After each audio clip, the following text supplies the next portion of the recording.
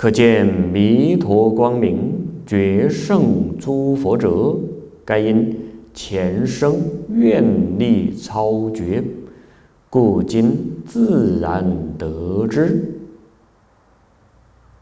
我们学《无量寿经》，念阿弥陀佛，那就一定要有像阿弥陀佛这样的大愿，要晓得尽虚空遍法界一切众生都是从我们自信里面。流现出来的，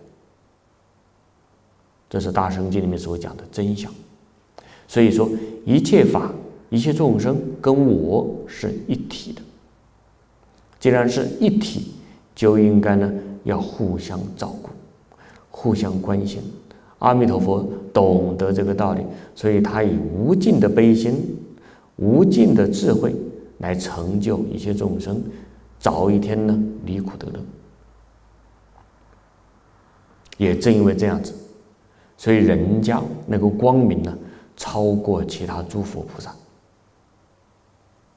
下面是经里面呢又说的，是以经中复曰：阿弥陀佛威神光明最尊第一，十方诸佛所不能及。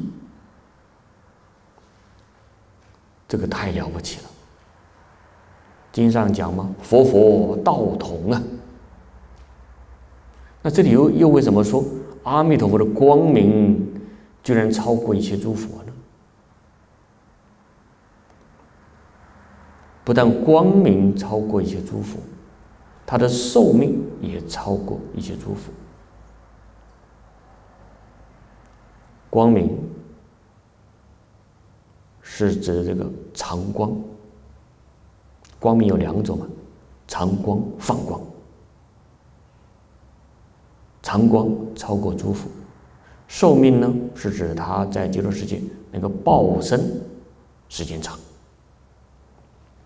这些啊都跟佛在因地当中修行时候的发心有密切的关系，所以我们大家务必要拓宽心量。那个平常咬牙切齿的冤亲债主。你要不要关心他呢？要啊！越是那个伤害我们的人，我们越是要照顾他、爱护他。要想想，他为什么对别人很好，为什么对我这么差呢？一定是我前世对他不好嘛。所以这一生呢，他才会他才会来报复我、伤害我。我现在能够忍得了、受得住，哎，那这笔账呢，这笔债就了了。他讨债讨完了，他就不会再跟我们的过不去，就会跟我们的关系越来越好。有大法具陀罗尼经为诸佛有两种光明，一种是长光，一种是放光。长光者为圆明无碍，无时不照也。所以一切诸佛呢都有两种光。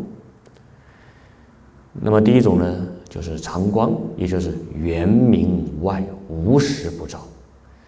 做东西，如果我们现在每个人身上也有这种常光，好不好？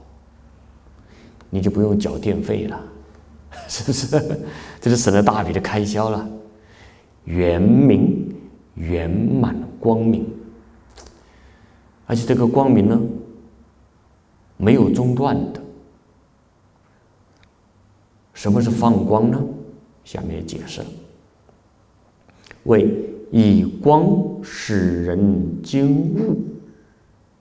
这种光一放出来，大家看了之后觉得很惊讶，就觉悟了。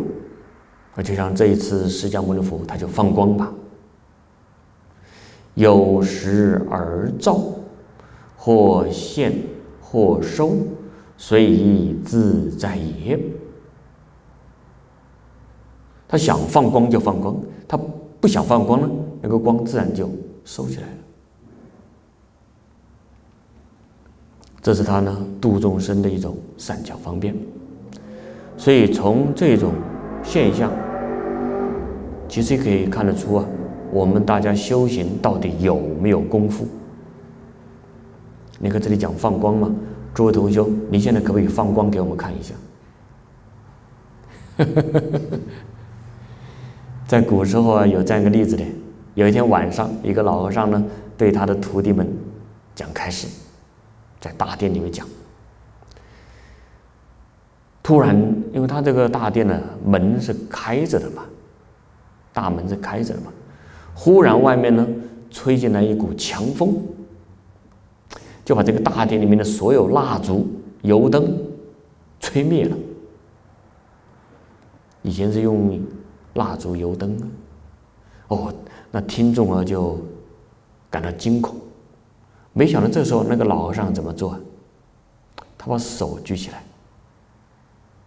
这时候大家看到什么？就跟他那个手指啊，放光了。大家一看就会怎么样？惊讶了！哇，想不到老和尚还这么一手，手指还可以放光。请问老和尚平常手指可不可以放光呢？当然可以。那他为什么平常不露一手呢？缘分未到嘛。你看，真正有功夫的人，他就有这样的能力。所以，我们大家一定要修清净心、平等心。清净平等到极处，这些本能全都会恢复过来。所以，我们对于这些现象、这种神通啊，也不要感觉到很惊讶。为什么？本能嘛，您本来的能力，只是我们现在有妄想、分别执着，使自己的本能暂时的。迷失了，不是没有，暂时迷失。